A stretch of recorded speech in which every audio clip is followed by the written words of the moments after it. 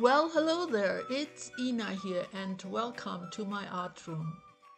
So last week I showed you how I reused the background, which originally looked like this. I also took the gargoyle off and the box, and today I will show you what I did with those items. First of all, the box.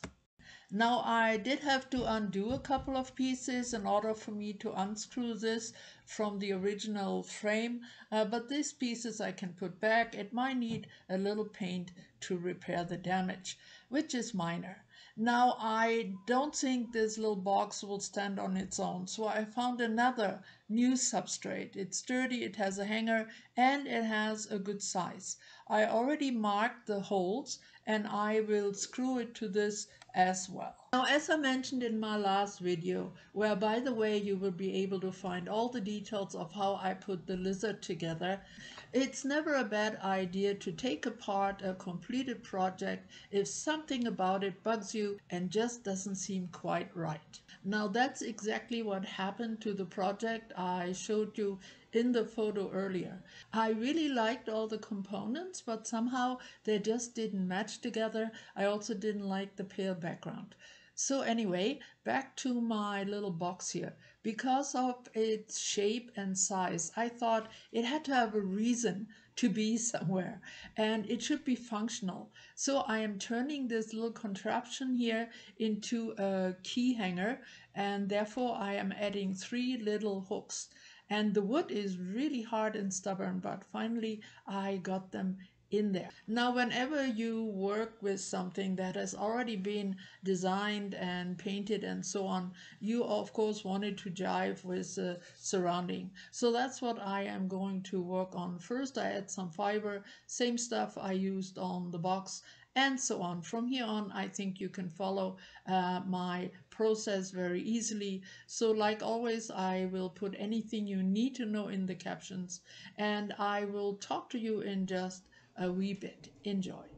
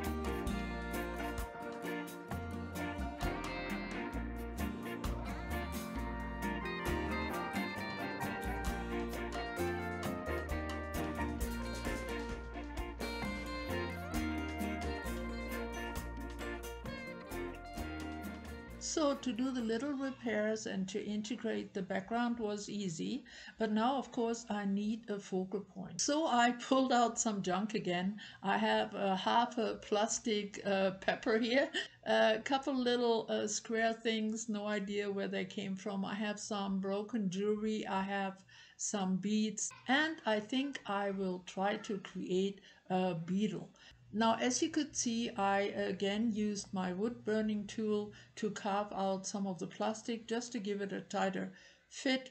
Then I will also use another kid's toy, this plastic tweezers. I cut them and then I heat them up a bit so I can bend them into the shape I need and I think they will make some great antlers for my stag beetle here. I will of course add lots of other little bits and bobs to complete the shape but first of all I wanted to make some legs and for that I used wire and beads. And yes I was trying to show you uh, the process here on my video but the camera angle was just really poor so I skipped that part. Uh, but here are the completed legs. I also cut out a cardboard shape that will go underneath the bug and the legs can be sandwiched between. So lots of E6000 to make them go in more or less the right position. Now because of the wire they're bendable so uh, I just need to get the middle section solid and the rest can be adjusted uh, later on. Actually, just in case you're wondering, I did make three sets of legs and one set of antennas because I know the stag beetle has six legs. So I think it's time to turn you back over to some more music. Now, like always with these type of assemblages, I will speed up the process quite a bit. Otherwise, it will get way too long, but I believe that you will get a pretty good idea of how I will put this bug together.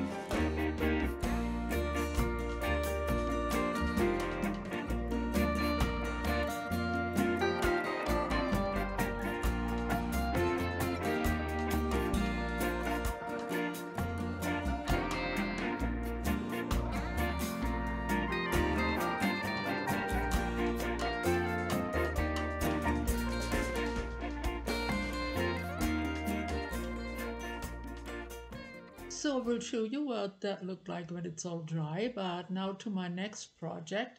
I had this old round wooden frame. It's a little banged up, uh, but because of its round shape, I thought it was a perfect substrate for my little gargoyle. And again, I will decorate it a bit to make it fit better. I give it some texture with some fiber. I also add some chain and also a little bit of texture paste mixed with sand just to rough up this kind of slick uh, wooden frame.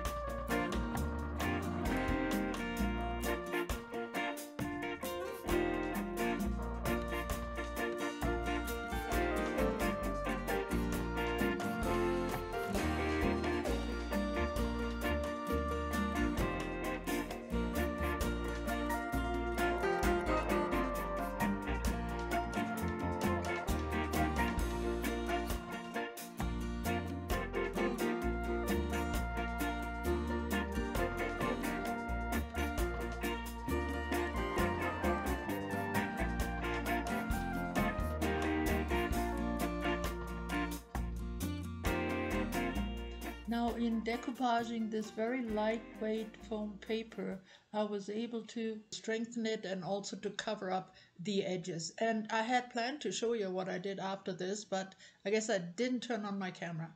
But the next few steps are really very simple. First of all, I colored the paper and I used this antique wax and it gives it this old and worn look.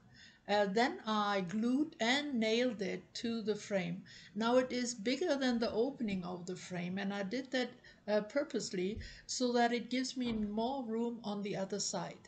Now the other side of the circle I covered in this very pretty handmade mulberry paper.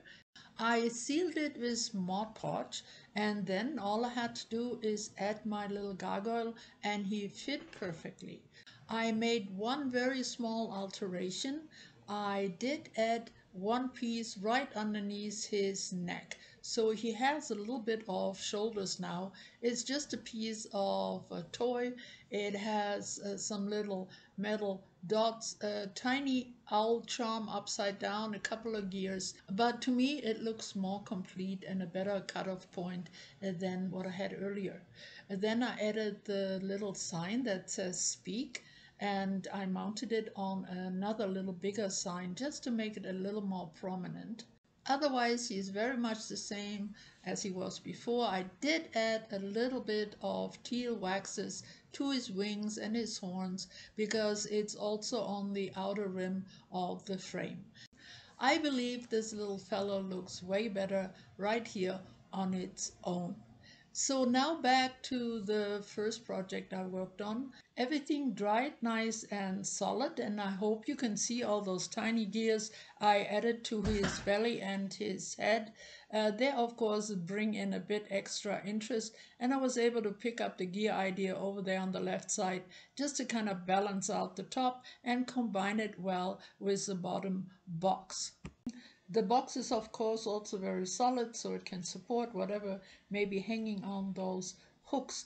Now I did add a couple tiny gears inside of it and I also added two little dewdrop gems just to give both pieces a few elements they have in common. The back is pretty clean although the sticker didn't come off completely so I may yet cover it sometime in the future. So here is the project I made with the box. And here, of course, you have the substrate that came from the original project. And then, of course, my gargoyle found a completely new home. And I'm quite fond of him in his new setting. So I really hope that today's video gave you some ideas of what you could do should you have art projects that need recycling and redoing. Now, if you like to see the details of how the little box came about, the lizard, the substrate, and of course also the gargoyle, you will find all those informations in some of my recent videos. All right, thank you so very much for visiting with me today. I'll be back soon, latest by next Friday. In the meantime, stay well and creative. Bye bye for now.